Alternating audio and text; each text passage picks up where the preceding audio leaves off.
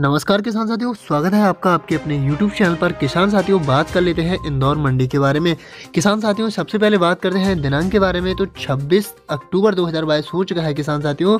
अब तक जो अवकाश रहा इंदौर मंडी में किसान साथियों, कल जो मंडियाँ खुलेंगी तो कल मंडियों में कैसा माहौल देखने को मिलेगा आपको, इस वीडियो में मैं आपको सही और सटीक जानकारी के द्वारा बताऊँगा। चलिए किसान साथियों, अब जान लेते हैं आज की जो कल की स्थिति है, कैसी देखने को मिली क्या भयंकर तेज़ी देखने को मिलेगी या नहीं? तो चलिए किसान साथियों, इस वीडियो में मैं आपको सही और सटीक जानकारी के द्वारा बताऊँगा।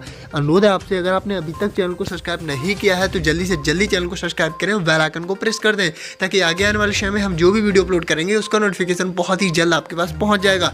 किसान साथियों, अगर कल की बात करें तो कल मंडी में उत्साह देखने को मिलेगा, क्योंकि किसान साथियों, काफ़ी दिनों से मंडियाँ बंद चल रही हैं, क्योंकि दिवाली का जो अवकाश है, वो मंडियों में देखने को मिला है। दिवाली के अवकाश के बाद जब कल मंडियाँ ओपन होंगी तो कल भयंकर तेज़ी आने की संभावना बढ़ती हुई नज़र आ सकती है। किसान साथियों, ये बहुत ही बड़ी अपडेट बहुत ही बड़ी जानकारी निकल कर आ सकती है। कल कहीं ना कहीं तक रिकॉर्ड टूट सकता है और तेज़ी अच्छी खासी आ सकती है, क्योंकि काफ़ी लंबे समय से जो चार पाँच दिन से जो मंडियाँ बंद हैं तो कल अच्छी खासी पकड़ आपको देखने के जो चांस है, वो ज़रूर देखने को मिलेंगे। किसान साथियों